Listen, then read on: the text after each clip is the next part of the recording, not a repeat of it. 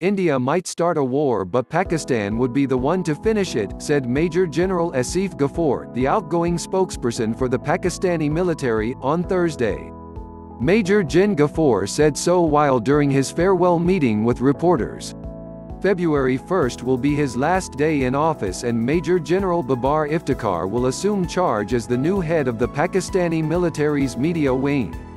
The remarks by the ISPR DG came a day after Indian Prime Minister Narendra Modi claimed that his country was now capable of making Pakistan bite the dust in less than 10 days.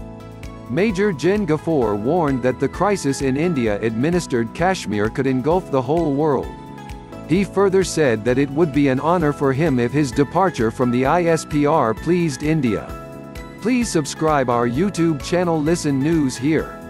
If you like the video please like, comment and share the video.